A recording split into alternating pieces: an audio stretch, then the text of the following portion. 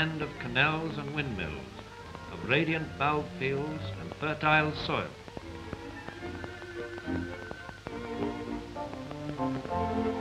Of colourful people in native costume. That is the popular conception of Holland. I've often been there and seen all these things, but my latest trip to Holland was in quest of something new. I shall long remember that dark summer night when I arrived in Rotterdam. I passed by her great river and paused. The city was en fete for the coronation of Queen Juliana. The river was a blaze of light. Appropriately, the Rotterdam people had made the river their showpiece, for their river is the be-all and end-all of the city.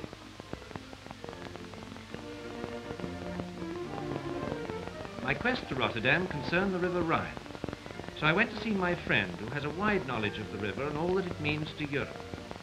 He had, in fact, made his own film during a survey journey from Rotterdam to Bâle, and that is what he showed me.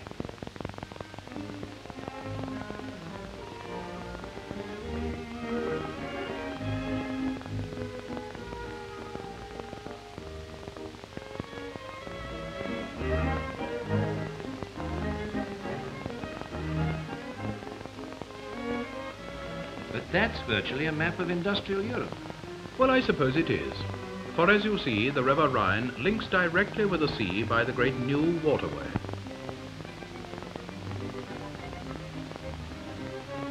The Rhine is the artery of Western Europe and of the riparian nations. Seems as though the Rhine serves most of Europe. In point of fact, it does. Look at this. Not many people realize what it means. The Rhine is surely the principal factor in the industrial, commercial and economic recovery of Europe. But first, you must appreciate the importance of Rotterdam. If ever there was a working harbour, this is one. To Rotterdam there come ocean ships bearing cargoes from every quarter of the globe of every imaginable description. And that's important, for Rotterdam Harbour caters for the rapid handling of every type of cargo. Besides general cargo, there are port basins and equipment, each specializing in the handling of the specific cargoes. Bulk cargo, such as coal, for instance, is transshipped out of inland craft from the Ruhr to ocean-bound vessels. The world importance of this traffic is evidenced by the diversity of flags one sees flying from the ships. Not least impressive is the modern equipment for direct loading and unloading from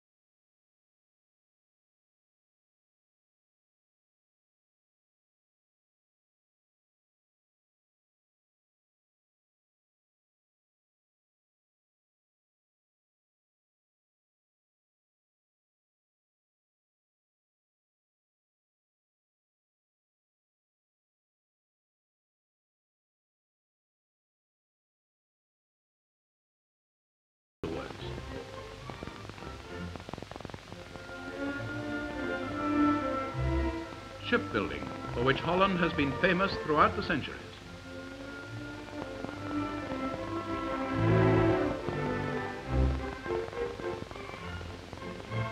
That great floating dock can handle vessels up to 30,000 tons.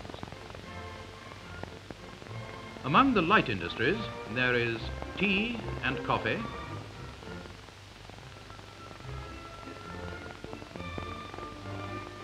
milk products,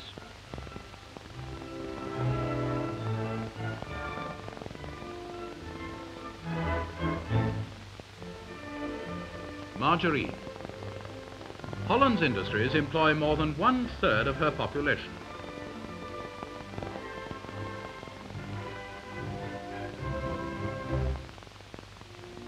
We have a big and intensive export trade, not only by sea, but by a network of modern canals and rivers, which reach every part of Holland and link up with those of Western Europe. Here is one of the famous Dutch spirit works, producing such things as industrial alcohol, yeast, and even penicillin, situated beside the canal which serves it as it does so many Dutch industries. In this great system of waterways, the Rhine plays the predominant part.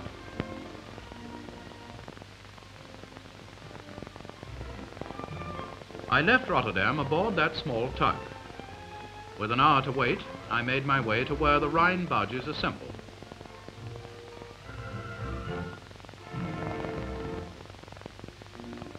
Nearby, there is a barge yard where these highly specialized craft are built.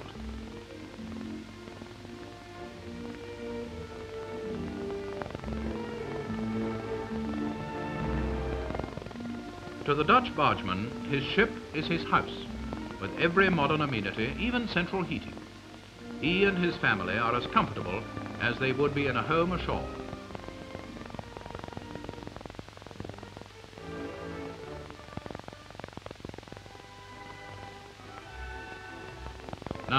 Look at that strange craft. What on earth is it? That's a very modern tug. She is some 2,000 horsepower. And streamlined, too. Now, how many barges can she tow? As many as eight upstream. That's to say a total tonnage of about 15,000 tons. They seem to handle those heavy cables as though they were nothing. You mean the tow? Yes. Well, you see, that's habitude. These men are born and bred to the work. For generations, their forefathers have sailed the Rhine. Without these expert sailors, the picture of Europe would have been very different. The Ruhr might still have been fields and forests. I went along to the bridge at Nijmegen so as to get a full impression as the big tow passes. What a job handling a great string of craft like that. Yes, navigation on the Rhine is a profession which can only be learned by practical experience. Father teaches son. So it has gone on from generation to generation.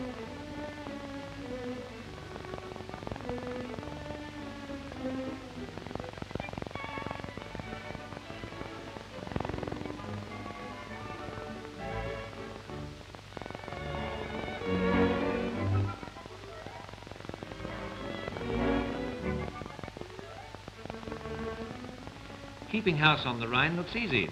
The general store comes to your very door. Yes, indeed. There's no need to queue up there.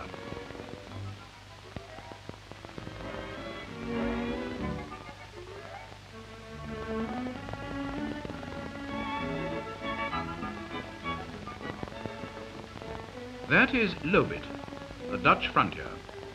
Usually the barges anchor there for the night and pass Dutch customs early in the morning.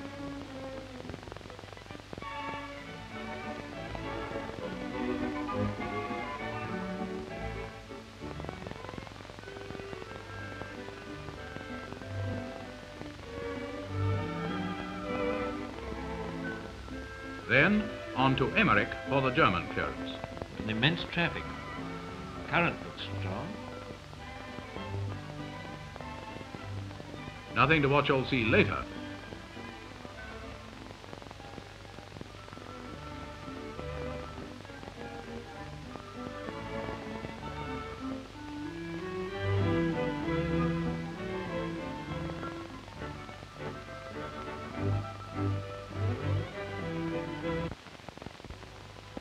That opening over there is the entrance to the Wesel-Datteln Canal. You see the area that it serves on this map. I'm beginning to understand the vital significance of the Rhine to Western Europe. Yes, you certainly will as we get into the industrial Ruhr.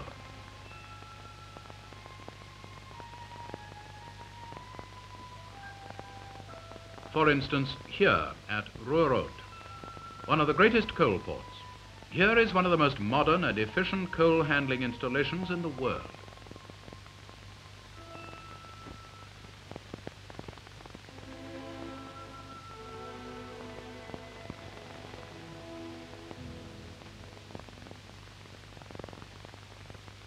Now where's that? That's Duisburg, another important industrial harbour. From here, the Rhine has another important artery, the canal, which serves Mulheim and Essen and links up with the Dortmund-Ems system.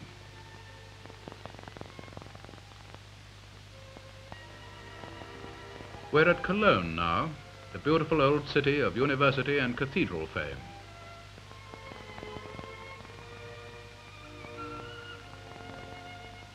Now, what's that scale? That's a water gauge, most important factor in the Rhine navigation. For this shallow river is mostly fed by glacier waters, and in certain seasons, the level changes from day to day. Now you're seeing one of the most beautiful and historical parts of the river. This is the stretch which passes through the mountainous district, land of old castles. Some are used today as navigational signal towers. These old feudal castles, perched high on the rocky escarpment, remind us that the Rhine was the classic river of the Middle Ages.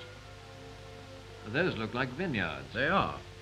For from here comes the world-famous Rhine wine. So this part of the Rhine is steeped in legend and romance, isn't it? Indeed it is. The greatest of all such stories is, of course, the one about the Lorelei, that great towering mass of rock from which the legendary maid lured ships and men to destruction by her song. This reach of the river is the most difficult to navigate, for here the currents are extremely strong and rapids and whirlpools abound. And here two deep channels have been blasted.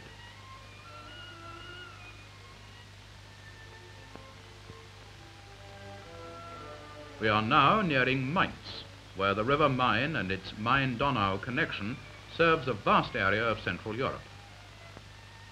Now, what's that opening? That's the Neckar Junction. This canalized Neckar serves an important area. It's the artery of the Mannheim hinterland. That, by the way, is one of the old paddle wheels. Powerful tugs are required from here to Strasbourg, for on this section of the river the current is very strong.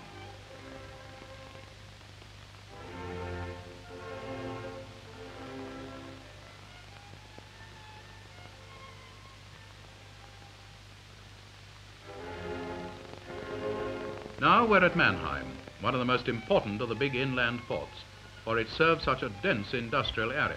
Are those Dutch tankers? Yes, they are. You, you see more Dutch craft than any others. Yes, I think the Rhine should be called a Dutch river, judging by the number of craft one sees from Holland. And after all, we were the commercial pioneers of Rhine navigation.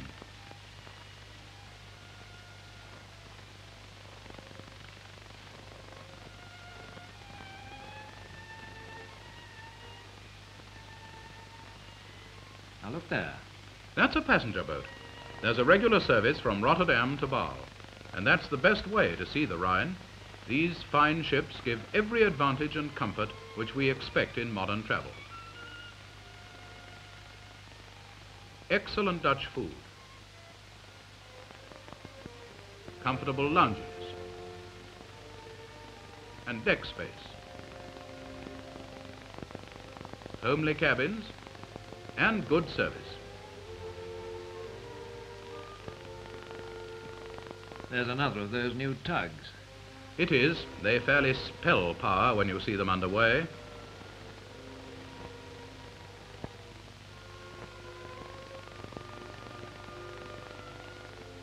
You see here quite plainly the mileage posts marked in kilometers. The current is enormously strong. They're the plains of Alsace, but the river banks are pretty densely uh, wooded. At Strasbourg, the main stream has a side turning, as it were. This enters the port of Strasbourg. It looks a fine modern city. Strasbourg, the capital of Alsace, is a strange mixture of the old and the new. Here is the headquarters of the Rhine Navigation Administration. That's coal, isn't it? Yes, this is another important coal port. But amongst all the Strasbourg traffic, the export of potash is one of the most important and calls for very special handling, both overland and in loading into the ships.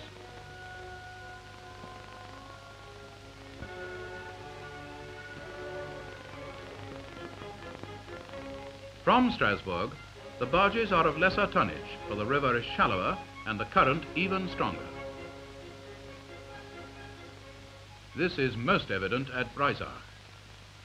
That's another water gauge, isn't it? Yes, they're everywhere.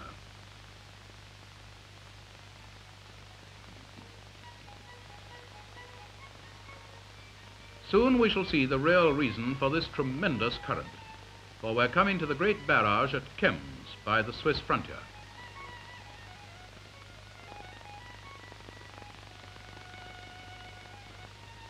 Is that the barrage? It is.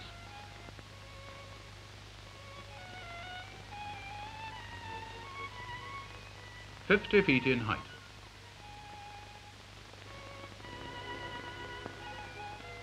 That enormous volume of water is flowing down from the alpine snows and glaciers which feed the Rhine.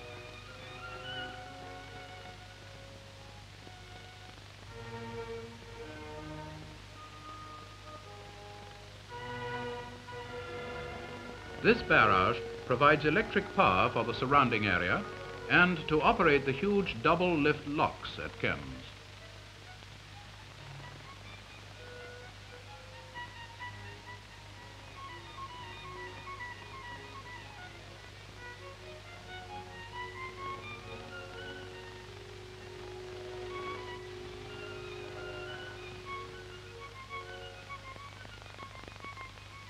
And here we are at Bâle, I suppose.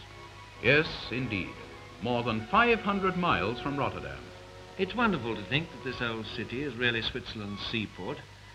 For after all, it's in direct navigational touch with Rotterdam. Of course, that's just the point. The Rhine via Rotterdam is Switzerland's direct link by water with the ocean highways of the world. And Switzerland seems to have a very good port. Yes, indeed she has.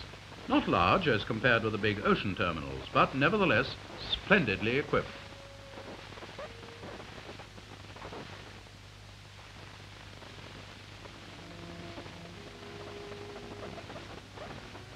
It's a strange thought, you know, when you think of this port in direct contact with the sea, more than 500 miles away and 800 feet above the sea level.